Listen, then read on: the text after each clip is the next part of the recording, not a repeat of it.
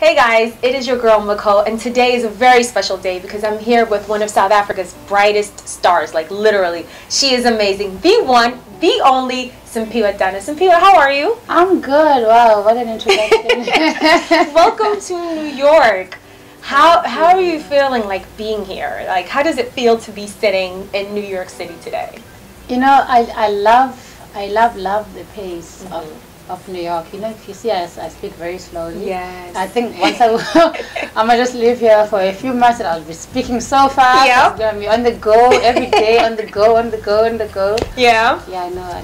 I, Yeah. love the city. Yeah, New Yorkers are very fast paced. We walk fast, we talk Yeah. fast, we eat fast. Yes, we're, we're very, yeah, very yeah, fast. I like it. So I like to do a little thing in my interviews where we do some icebreakers, right? Where we I ask you a couple of questions like the last thing that you did, and all you have to do is just respond to me like the last thing that you did, just very fast, very off the brain, off the cusp. What if I'm Okay.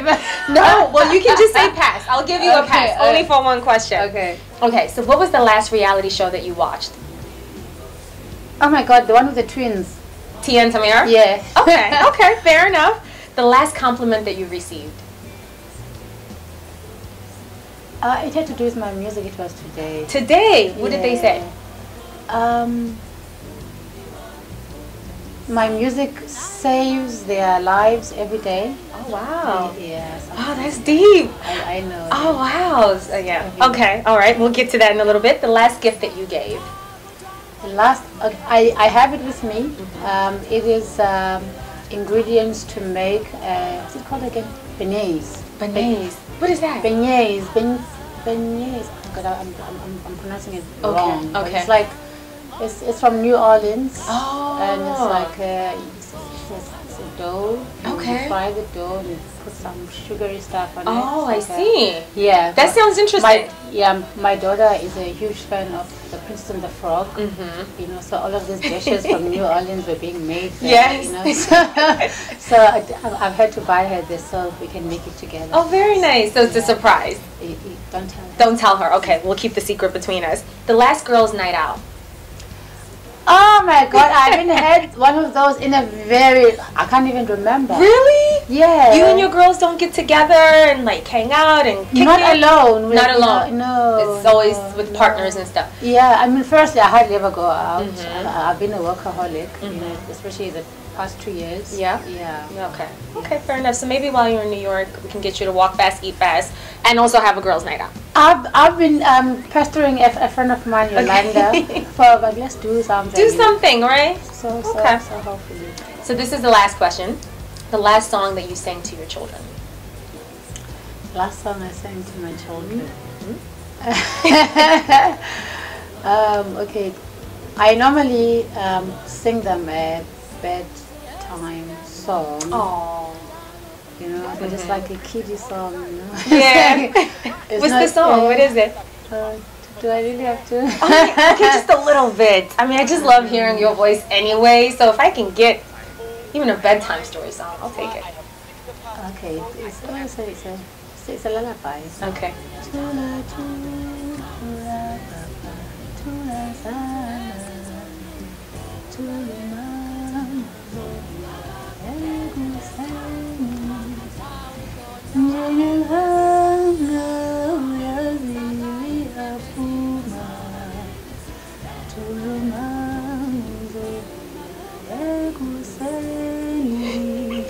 I love it. Yay! That would So- put me to sleep every single time in the best so- way possible. Though that's amazing. Uh, when they were younger, especially, I would sing them that song to them. It, it oh. worked every time. Mhm. I see why. awesome. So back to you being in the states. You were at Essence um, at New Orleans, Yeah. and you performed at one of the stages. What was Yeah. that experience like? And what was the highlight of your trip there? It was really amazing. Um, that was my first performance, Wow. not just in New Orleans, but in the US. Are you kidding me? I'm- I'm- How is that possible that that is your first performance in the States? That's crazy to me. Okay. Well, I mean, it, the thing is, um, when you're an unknown, you know, I mean, the reason why I, I, I had to move to Joburg is because I was told if you want to make it, you have Yeah. to come to Joburg. Absolutely.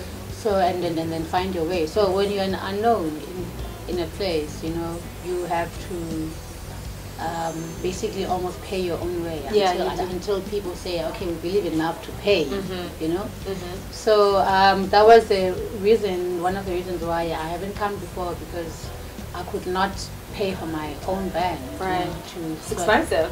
Yeah, yeah. Yeah. Very expensive. Mhm. Mhm. Um, so this time around, I, I could come because I, I, I asked for help. yeah. You know, my, my government culture Yeah.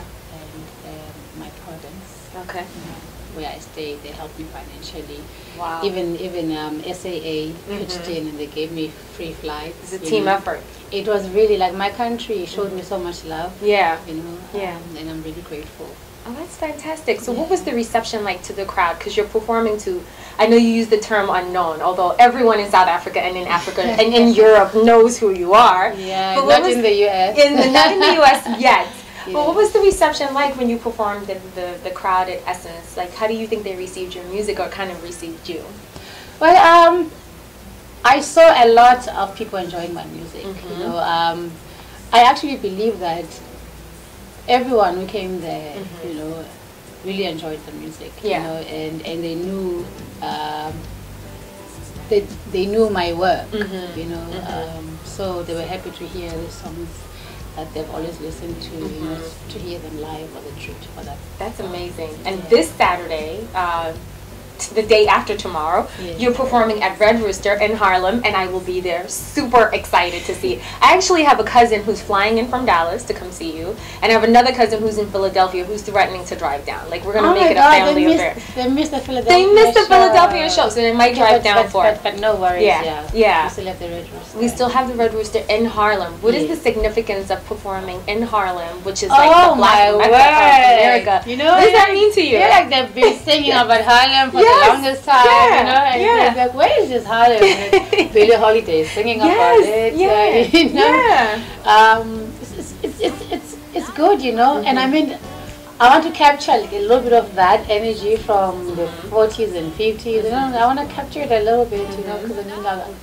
when I walk around, I'm like, I wonder where they used to hang out with jazz cats. Right, you know? right, right. you know, I want to go to those places and Okay. capture a little bit of that magic for myself. you know. Mhm, So yeah, no, there's, it's, it's, um, Harlem is a very, very rich, rich history. Very. You know, and I'm really honored to, to come there and to bring my, my gifts.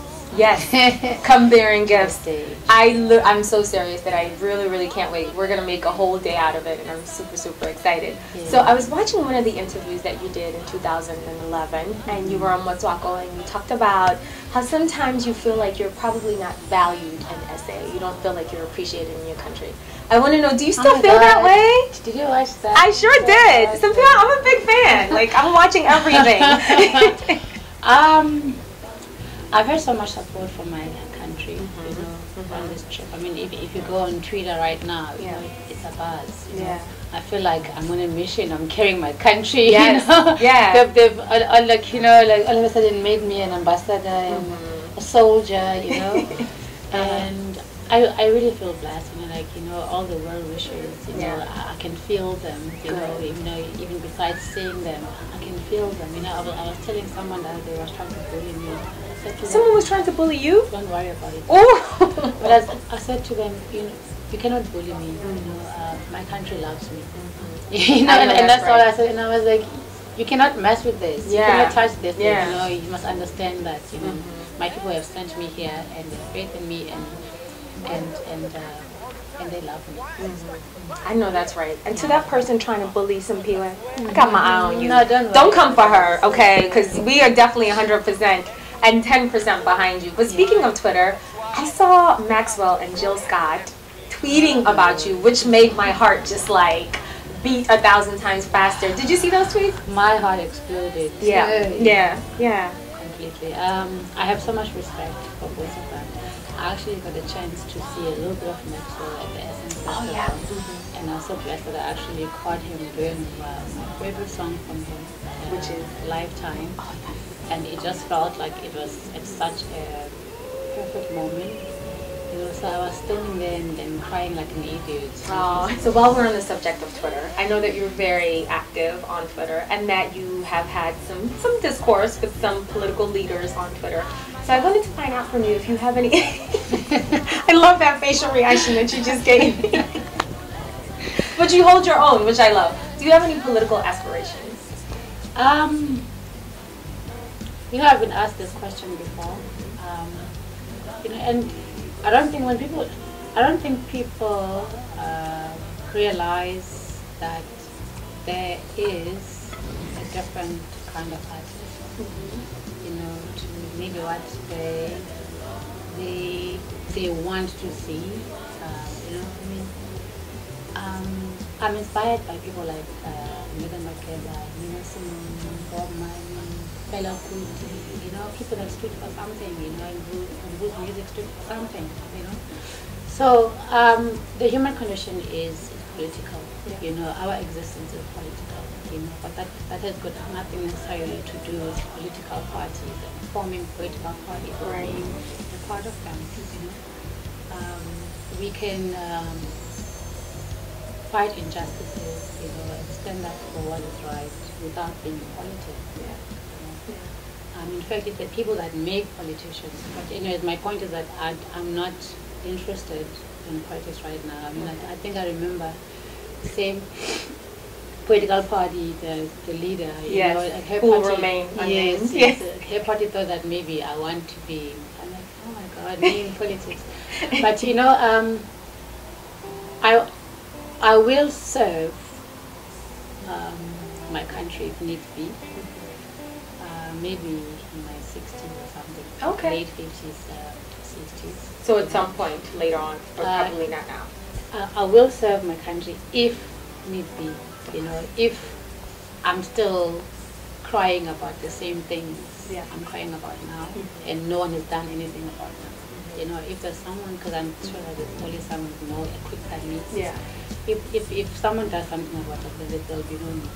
Right. Yeah. Yeah. So if there's a need, uh, I might much later. I- I'd say you'd make a pretty good politician. I'd vote for you. I mean, not on the basis that you're oh, a phenomenal no, singer. Biased. I am biased. I won't even lie. I'll definitely. I think I would only just have to sing to them. exactly. that would be the easiest. Uh, yeah. Election ever. Yeah. It would.